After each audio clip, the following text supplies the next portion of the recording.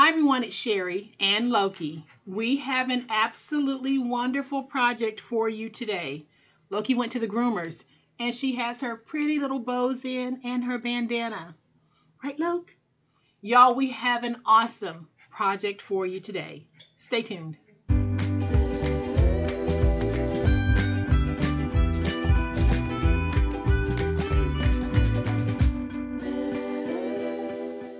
Y'all, welcome to my channel. I am so glad that you decided to stop by and welcome to all of my new friends and to all of my new subscribers. Welcome back to all of my longtime friends and longtime subscribers. Thank you all so much for being here and thank you for supporting me and my family, including Loki. Today, I have a super awesome way that you can take one cardboard box and turn it into something amazing. So Loki's getting a little bit restless, so I'm going to put her down so that we can craft. So as I was helping my daughter to package her cup orders, we're using boxes like this, and I started thinking there are going to be a lot of people getting this box. So I have a wonderful idea on a way that you can use it. So if you get this box or a box similar to it, make sure that you save it because you're going to be able to turn it into something amazing. And y'all, here's what I'm talking about. I took this box and I turned it into this. I have some of those composition books that we covered in mind, but this is truly multifunctional. We're going to keep it a little bit rustic, but it'll be a great addition to your workspace. You can even use something like this within your home, depending on your decor and your need. But I thought a makeover would be great for those of you who are going to be receiving this in the mail and for those of you who might have received something similar from other places from which you've made purchases. So I'm going to flip to my overhead camera. We're going to do this very quickly. So here is a closer look at what I did. The box measures 10 inches across and it's 4 inches high and 4 inches deep. And then the side panel is about 11 inches tall. So we're going to make a slight modification, very slight modification, so that we can create something as beautiful as this. I used several pieces of that floral and lace digital paper that I shared with you. If you're interested, I'll have a link to purchase the paper in my description box. But I decided to go with that because my idea for using this really is to use it as a way to store those composition books. My sister will be getting the composition books because she uses a lot of composition books and notebooks in her work. So I'll be filling this with a whole bunch of composition books and I'll be presenting it to her in this. So let me show you what we need. So what I have is my empty box. This box has already been put together. So we're not really going to take it apart. I'm going to leave it in its natural state and it is a very easy box to put together. I will have it linked in the description box below. For those of you who might have a need or you want to purchase boxes like this, now they are sold in sets of 50, so you might be able to find a smaller quantity, but I will link what I have purchased. And then I decided that we'll go with the blush pink as our cover for this. So it's going to be so easy. And I will be using my Xyron to put adhesive on the back. But if you don't have a Xyron, you can use a spray adhesive or you can cover this in tape. Okay, so what we're going to do is I'm going to take my ruler and I'm going to place the ruler down because what I want to do is I want to come into this point right here, the fold over point, and I want to trim away this. So you, it'll make sense in just a minute because I'm going to take the ruler, we're going to place it right there on the edge.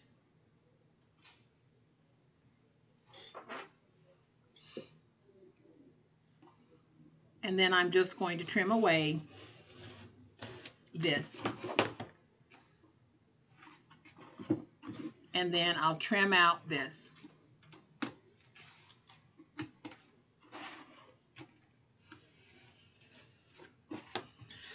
Because what I'm doing is just giving me a straight edge here and now I need to give myself a straight edge here. So again, I'm going to take my ruler and line it up.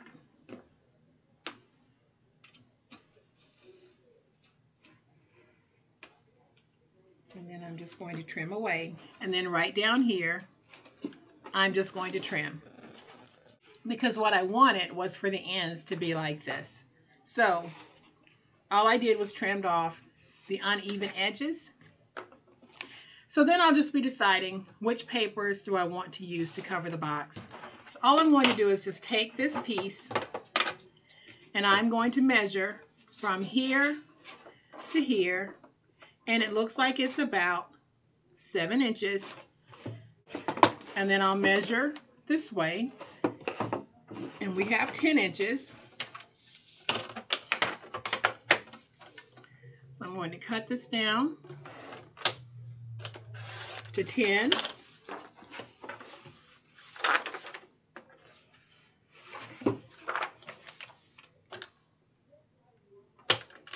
by 7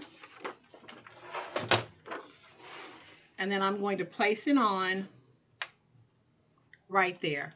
And to place mine on, I am going to be using my Xyron Creatopia to place adhesive on the back.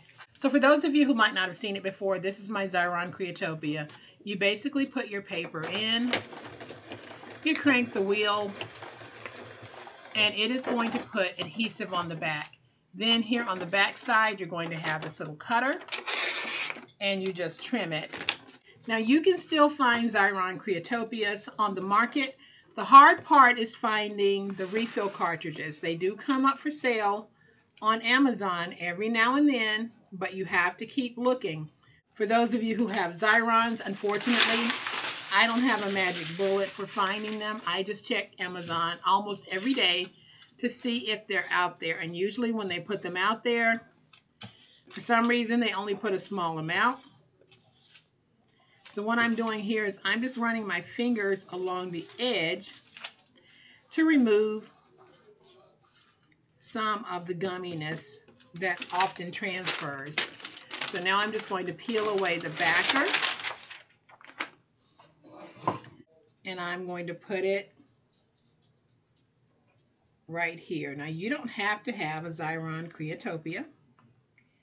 They have other sticker makers on the market that you can use. They have one that will apply adhesive on pieces up to 9 inches wide, which means that you can take your 8.5 by 11 inch piece and run it through on the 8.5 inch side and get full coverage. So now that I have this piece on like that, I am going to take this piece and we're just going to trim it to fold it over into the inside. So I'm just trimming this down to 6 and 3 eighths by 10 because I know that works. Then I'm going to take this piece and we're going to trim it down to 6 and 3 eighths by 3 and 7 eighths. And I'll have two pieces of that. And these will be for the side pieces. So like I said, this is going to be pretty rustic. But I still think that it's going to be very cute. And it'll all start to take shape in just a minute. So we have these two pieces. I'm going to go ahead and just add my adhesive by putting that piece in, rolling it through, and then I'll put these two pieces in and roll them through. Y'all, I have had this Xyron Creatopia since they first came out. It was one of those things that when I saw it, I was like, my goodness, I have to have that. And I'm so glad that I did purchase it because it's been one of those purchases that really has made it so much easier for me. So I'm going to go ahead and just remove this piece. We're going to take it Put it along the bottom here. Didn't get that quite even, but that's okay. And then I'll fold over into the inside. Like that. And then I'll take my side pieces, put them on like this. We'll fold over. and get them stuck. Take our next side piece. We're going to put this on. It's kind of hard for me to see this, but we're going to make it work. Put it on like that and bring it inside. Now I know my box isn't going to be perfect and that's why I called it rustic because we're going to leave these raw edges showing here, but we are going to place down a piece on the inside. So we're going to cut out a piece for the inside. So I'm going to take this piece and I think we need to trim to about nine and three quarters. So basically all I'm doing is going with the interior size of the box and nine and three quarters is going to work.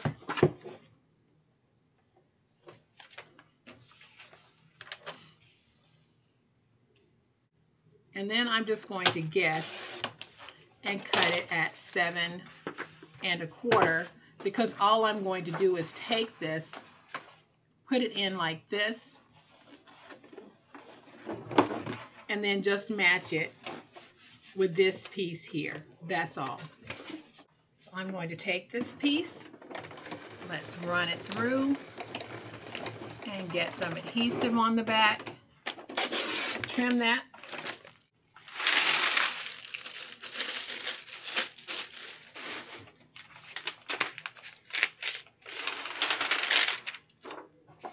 Sorry, but y'all might not be able to see what I'm doing here. So I'm just going to take this piece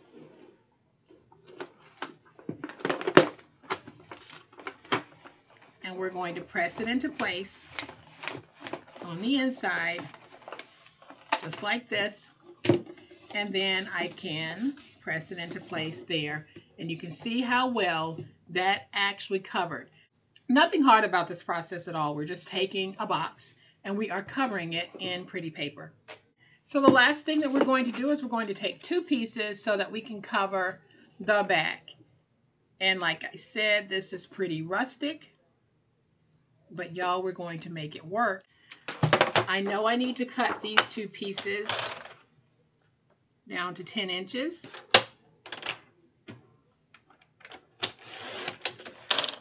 And y'all, what I'm showing you here is not everything has to be perfect. We don't always have to use sheet paper you can piece together using some of the papers that you might have in your collection. Just make them work for you. So I am going to take my pages and run them through. Again, you can cover your paper in tape or spray adhesive if you don't have a Xyron. So now we're just going to peel off the backer. And we can take this piece and I'm just going to put it here at the top like this and we'll smooth that out. Then I'll take my other one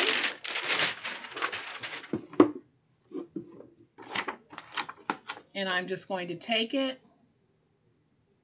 line it up with this one,